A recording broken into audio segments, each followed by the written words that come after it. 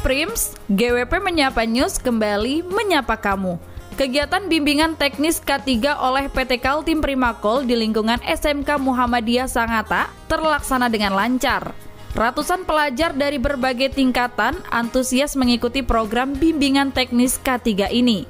Diliput oleh tim GWP Menyapa News pada Kamis 1 Desember 2022 lalu, Official Pendidikan Departemen Community Empowerment KPC, Rosna Abdurrahman mengatakan, bimbingan teknis K3 merupakan kolaborasi yang terbangun cukup lama antara SMK Muhammadiyah Sangata bersama PT KPC dan program ini menjadi nilai positif bagi pelajar terlebih persiapan diri di tempat kerja. Kenapa memilih SMK Muhammadiyah itu pada awalnya sih memang SMK Muhammadiyah yang mengajukan proposal ke community empowerment. Hmm. itu sejak sekitar kurang lebih lima tahun yang lalu. Awalnya dibuka di sini juga.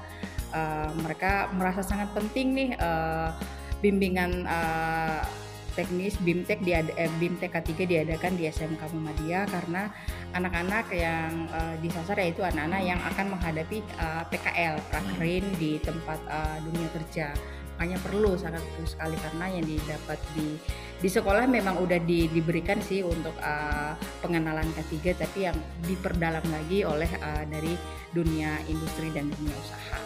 Harapannya supaya mereka lebih tahu lagi ya lebih uh, ngerti apa itu K3 bukan hanya di diri mereka sendiri itu uh, dan mereka ini adalah anak-anak SMK yang ada kemungkinan setelah lulus SMK mereka uh, ada yang langsung kerja gitu kan uh, otomatis mereka udah tahu uh, apa sih K3 itu uh, pengenalan-pengenalannya dan mereka udah bisa uh, menjaga diri mereka sendiri dengan lingkungan uh, kerja yang mereka hadapi. Mining Support Division KPC, Abdullah yang dipercaya sebagai trainer mengatakan bahwa kegiatan ini terlaksana sejak lima tahun lalu.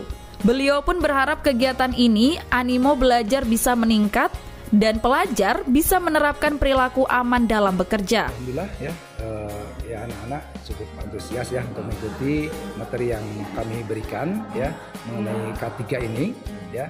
Uh, mudah-mudahan uh, ini bisa apa ya terus meningkatnya animonya ya, dari anak-anak. Karena apa?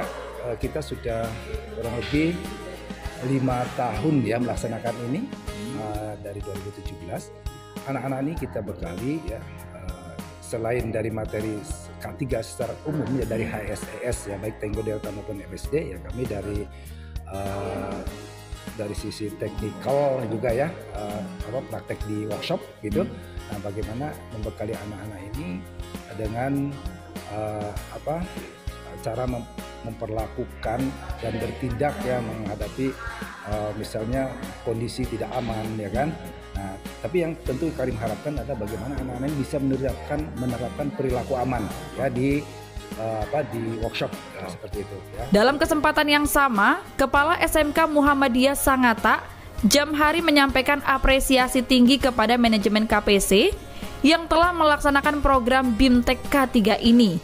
Beliau mengatakan bahwa program pembekalan ini sangat penting dan wajib diikuti oleh siswa sebagai bekal di dunia kerja. Baik, terima kasih. Uh terhadap pelaksanaan BIMTEK K3 yang dilaksanakan oleh PT Kaltim Firmakol.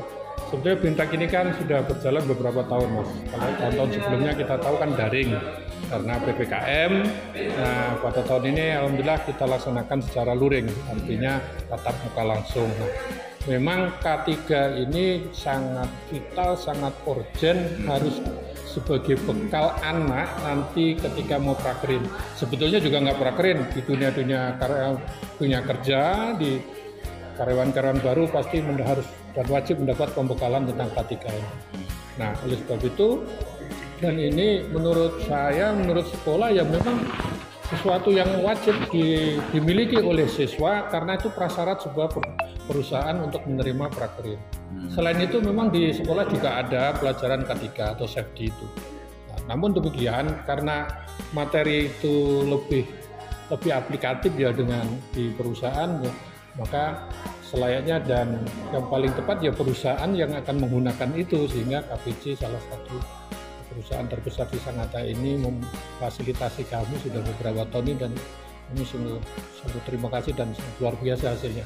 Sehingga anak-anak itu nanti ketika masuk di Sakerin di dunia kerja di lapangan, dia sudah memiliki gambaran ketika masuk apa yang ia awali harus dilaksanakan, apa yang ia harus memulai pekerjaan itu? Bagaimana proses seperti dan menutup menyelesaikan akhir pekerjaan itu seperti apa?